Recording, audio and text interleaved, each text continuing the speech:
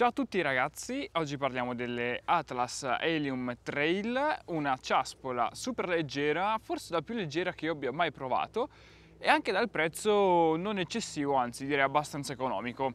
Vediamone adesso pregi e difetti all'interno della recensione completa. Visto che ve lo anticipavo, iniziamo parlando del suo peso. Queste ciaspole pesano 700 grammi l'una nella taglia 23 pollici. Esistono le taglie 20, 23 e 26 pollici, poi naturalmente in base alla taglia andrà a cambiare il peso. E vi assicuro che 700 grammi è davvero un ottimo peso per un paio di ciaspole. Eh, poi ne vedremo che mh, mm, magari peccano su altro, però quando camminiamo davvero ai piedi non le sentiamo. Iniziamo parlando dei materiali. È una ciaspola composta praticamente quasi tutta in plastica.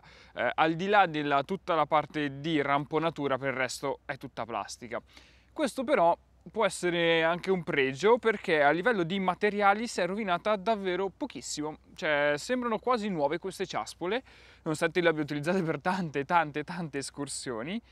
E davvero a livello di materiali è una ciaspola duratura, è una ciaspola che non si è rovinata, quindi materiali promossi.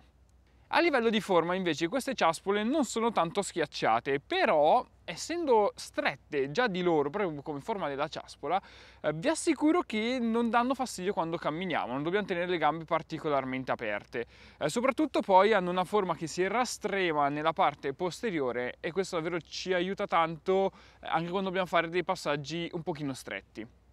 A livello di camminabilità, visto che ve ne accennavo, come dicevo, sono abbastanza semplici da usare e soprattutto, essendo in plastica, sono veramente molto flessibili, soprattutto nella parte eh, posteriore e questo ci aiuta tanto nel momento in cui andiamo in discesa, eh, ci aiuta soprattutto nel fare il movimento tacco-punta, quindi davvero studiate molto bene queste Atlas. Poi sempre per quanto riguarda la camminabilità, eh, parte anteriore che ha un angolo bello pronunciato e vi assicuro che si sente che lavora molto bene soprattutto quando andiamo su pendii particolarmente ripidi o su neve particolarmente alta. A livello di galleggiabilità diciamo che ci siamo, eh, siamo nella norma con tante altre ciaspole, nulla di eccezionale, lavorano bene. Poi naturalmente qua sta a voi prendere la taglia giusta in base al vostro peso, però a livello di galleggiabilità normali.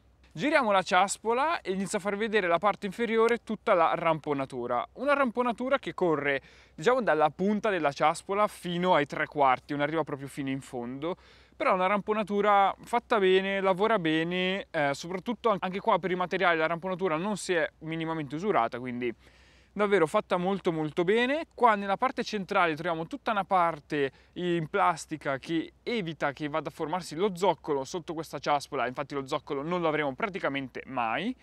E anche per quanto riguarda la ramponatura sotto la punta del nostro piede, questa ha tre punzoni doppi, quindi anche lei lavora molto molto bene. Quando andiamo a spingere di punta sentiamo che eh, dà un ottimo feedback e un ottimo grip. Continuiamo girandovi la ciaspola e vi parlo dell'allacciatura. Questa allacciatura è veramente molto semplice, praticamente composta da tre fibbie da andare a tirare e richiudere. Mi è piaciuta perché comunque eh, la ciaspola si può andare a mettere e togliere veramente molto velocemente. Questa resta chiusa eh, anche nei passaggi più complicati, non si è mai aperta, in tante escursioni non si è mai aperta. L'unica cosa, fate attenzione se avete il piede particolarmente grosso. Io con il mio 47 mi capita spesso che la parte esterna della ciaspola vada a infilarsi sotto ehm, dire, lo scheletro della ciaspola e vada a creare un grosso fastidio tanto da dover fermarsi ogni volta e riportare su il pezzettino esterno. Secondo me il numero massimo per queste ciaspole sono un 44-45 se è abbastanza stretto in punta. Altrimenti sopra davvero lasciate perdere perché rischiate di comprare una ciaspola che andrete a rovinare. Sempre per quanto riguarda poi i materiali anche della chiusura è fatta bene, davvero non ho avuto nessun problema. Io poi sono uno che tende a stringere davvero tanto eh, le chiusure e questa non ha avuto punti di cedimento, quindi tranquillissima. L'unica cosa naturalmente è per quanto riguarda i traversi, non avendo una struttura rigida, quando andiamo a fare i traversi queste ciaspole non ci aiutano tanto, però non lo considererei neanche tanto un contro eh, perché poi vedendo perché sono pensate questo tipo di ciaspole diciamo che l'utente eh, per cui sono pensate non dovrebbe andare a farli. Sempre nella parte dell'allacciatura, eh, sotto dove andiamo ad appoggiare il piede, c'è tutta una parte in gomma con degli spuntoni eh, che vanno a garantirci un ottimo grip tra la suola del nostro scarpone e la ciaspola, quindi anche questa è una piccola feature che però ci dà modo di capire quanto sono fatte bene queste Atlas.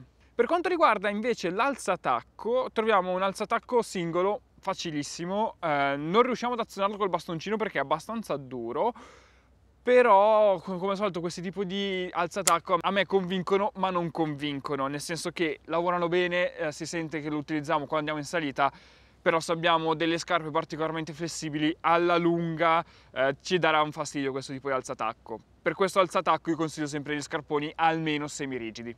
Cosa che manca su questa ciaspola è eh, la possibilità di fermare la basculazione. Non abbiamo un fermo, nulla, quindi per il trasporto potrebbe eh, essere un problema o in caso di eh, disceso dove magari vogliamo fermare la basculazione, quello potrebbe rappresentare un po' un problema. Arriviamo alle conclusioni per queste Atlas Helium Trail. Eh, ve le consiglio? Sì. Eh, io mi ci sono trovato veramente bene, al di là del mio numero che è un po' troppo grande per questo tipo di ciaspole. Vengono vendute sul sito ufficiale di Atlas a 170 euro, online si trova tranquillamente a 100, 120. Secondo me è un'ottima ciaspola per chi inizia. Eh, per i principianti che magari non vogliono andare a fare traversi, roba troppo tecnica, diciamo una ciaspolata proprio tranquilla. Eh, vendute a prezzo di 100-120 euro vanno in concorrenza diretta con altre ciaspole di questo tipo, quindi io sinceramente ve le consiglio.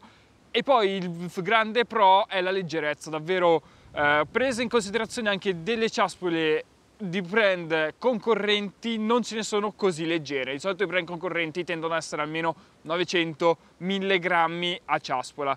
Vi assicuro che con queste, soprattutto se non avete così tanto allenamento, non sentirete la zavorra sui piedi. Detto ciò ragazzi, una speranza di essere stato esauriente e esaustivo anche per questa recensione, vi ringrazio per la guardata e noi ci vediamo alla prossima. Ciao!